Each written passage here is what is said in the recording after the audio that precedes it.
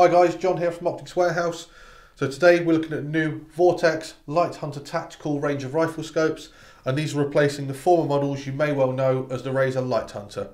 So they're mainly set up as your general purpose stalking and hunting scopes but what they've done now is they've added the two new models either side of me here which have got more of a hash mark type reticle in MOA and MILRAD and they've got 80 MOA of internal adjustment to get you to that range. So some of the features these have got underneath this turret here, which I will show you in a later video when we set the new zero stop feature.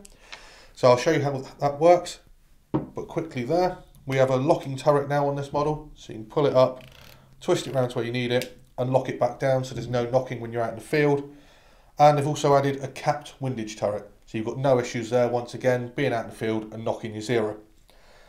Parallax on this, smooth side focus there, and that goes from 20 meters out to infinity. And it's marked around here as you can see 200 300 500 and then infinity. So nice range there easy to set up and quite quick to set up the distance to be nice and clear for a good image the whole way through the uh, view on this one. When you look through the scope it's got a very very wide eye box. So there's a very thin black line round. Some of the other scopes you may see You've got quite a thick tube, or what it looks like a thick tube looking through. Uh, this has got a very, very thin black line around the outside, a little bit like the old Leupolds, which just means it's a really nice bit of kit to use and very easy on the eye. For the ocular adjustment, they've gone back to the original style, which is a twist there, and you've got a locking ring to set that up. Obviously push that right the way to the end and it gives you the full range of movement to get that reticle clear.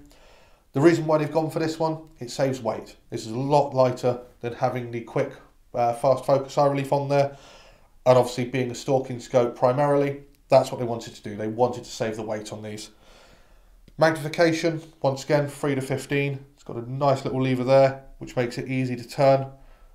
Just gives you that bit more leverage. And a very, very good feature on these now, the illumination. So you've got to hold that for four seconds. That will turn it on. You've got various brightness levels.